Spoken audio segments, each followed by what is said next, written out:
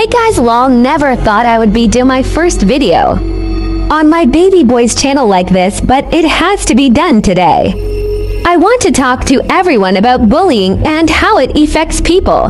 My baby boy's dad has been bullying his older son, which is Gun, and making Gun feel his never good enough for him for Gun's whole life.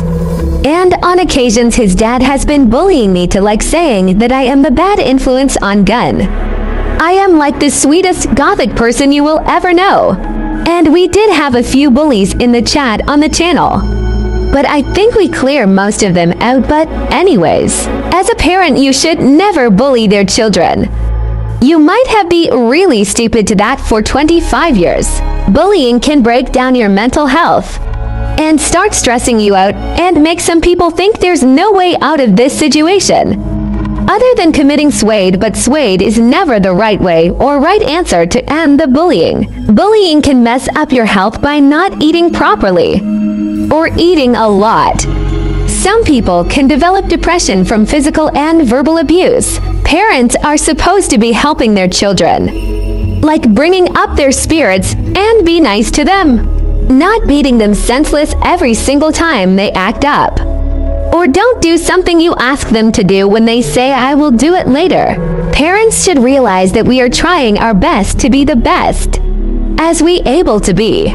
If I had to say anything to Gun's dad, it would be leave Gun alone.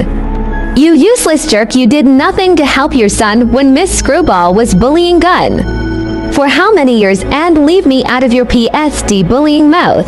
Parents don't realize that the bullying really says with you.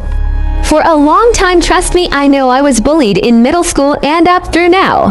As an example, I have been bullied this year by three jerks that talked shit about me and Gun. And I got something to say to them. Listen, bitch, my back is not a voicemail. If you've got something to say, say it to my face. Okay, anyways, now I got that off my chest. As I was saying, parents should never lay a finger on their child. They should say what's wrong and have a calm conversation and come to a civil agreement. Parents listen up if you beat your kids. They will grow up hating you and wish they were not born and wish they had different people as parents. Bullying is such a bad thing to do to people. It's almost as bad as hacking.